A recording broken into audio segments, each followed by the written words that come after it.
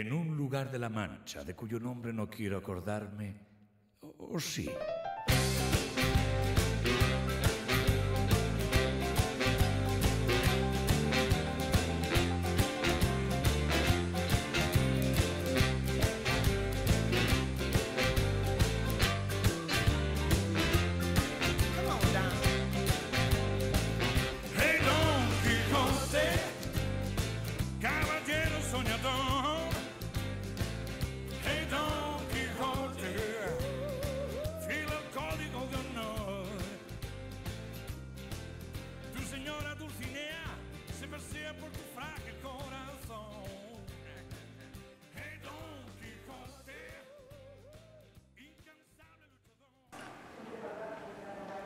Dice Don Quijote, la libertad, Sancho, es uno de los más preciados dones de los tesoros que encierra la tierra ni el mar encubre.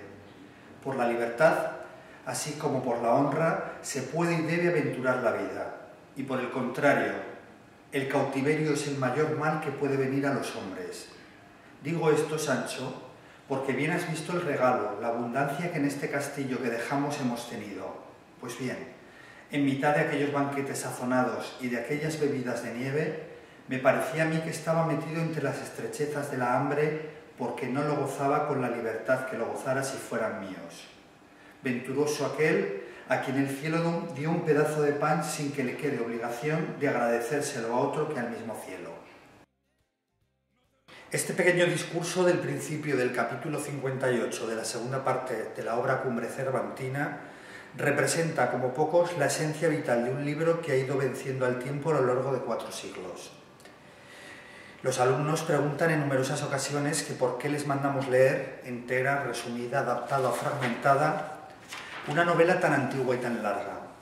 ¿Qué interés tiene para que para un adolescente del siglo XXI, ajeno a las vicisitudes de la España de los Austrias, al sometimiento del arte a un poder absoluto, una iglesia, inquisitorial y unos mecenas caprichosos, la historia de dos locos que peregrinan en busca de aventuras, honor y gloria? ¿Puede hacerse para este nuevo lector una presentación de la centenaria obra desde paradigmas actuales? ¿Son hoy Don Quijote y Sancho Panza algo más que el símbolo de las glorias patrias en los universales jardines del arte? Creemos que sí, y por eso estamos esta tarde aquí, en estas tierras que no pisó el verdadero Don Quijote por culpa de su imitador y que rodeó para caer vencido en una playa de Barcelona.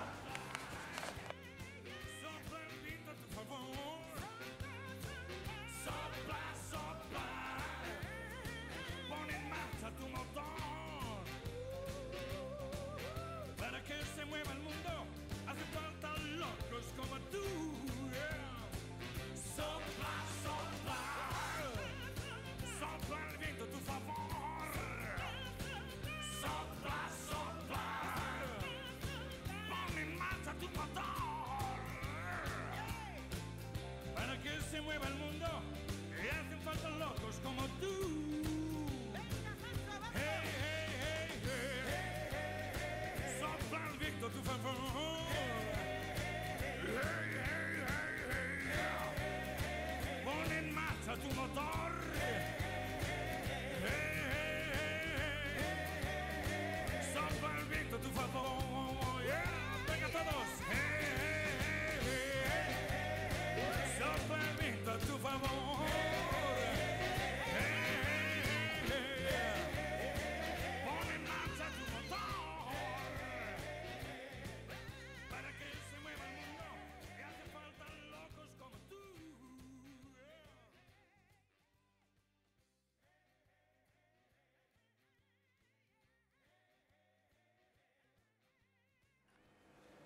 El núcleo central de, este- esta conmemoración eh, ha supuesto un, un gran esfuerzo, ya digo, a toda la comunidad educativa y ha sido la recopilación de 240, 245 ejemplares de publicaciones del Quijote, no solo de la segunda parte, que es lo que celebramos, sino también de la primera y segunda parte.